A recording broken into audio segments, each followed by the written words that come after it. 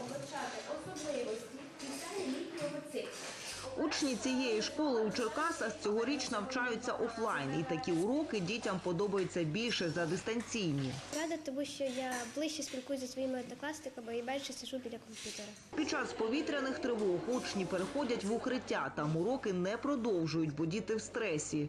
Та й саме повернення до школи дається непросто. Після тривалої дистанційки треба призвичаїтись до колективу. Зміни помітні, наприклад, у тому, як діти спілкуються один з одним, так тому що їм звичайно стало важче. Вони надто довго не були в одному колективі, надто довго е, не мали можливості так оцієї е, комунікації, спілкування. Максимально робимо все, що від нас залежить, щоб цей бар'єр він зник. У цій школі близько 1800 дітей. З початку повномасштабного вторгнення вони вперше одночасно вийшли на навчання.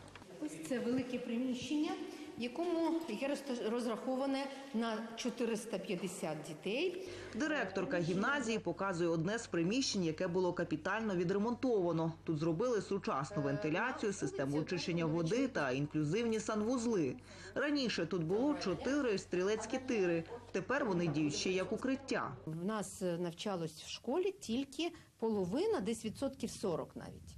Е, Тобто повністю ми не, у нас не вистачало приміщення. е, Ми знаходились тільки в одному з цих приміщень. А зараз це все абсолютно на іншому рівні, і тому е, створені нормальні безпечні умови. А в цій школі ремонтні роботи саме в розпалі. Для укриття готують 700 квадратних метрів. Планують кілька секцій для розміщення дітей, а ще капітальний ремонт вентиляції та санвузлів. Вже монтується санвузол, де будуть для хлопчиків санвузли, для дівчаток санвузли і відповідно рукомийники, де можна буде виконувати всі е, процедури гігієни. Завершити ремонт в укритті планують за місяць. Поки ж на офлайн навчання тут вийшли лише перші та другі класи. Ми плануємо по завершенню капітального ремонту вивести на навчання всіх дітей закладу. Минулого року ми забезпечили навчання. Ту кількість дітей, яку ми могли помістити у власному укритті. Сьогодні ми маємо е, укладені договори із трьома організаціями, які знаходяться поблизу нашого колегіуму, і це дало нам змогу вивести на навчання учнів перших і других класів. Втім, батьків засмучує така тривалість ремонтів. Складно зрозуміти, чому їх не завершили до початку навчального року. У міському департаменті освіти пояснюють, є кілька етапів, які не оминути. Спочатку це робиться технічна документація, це теж затягує час.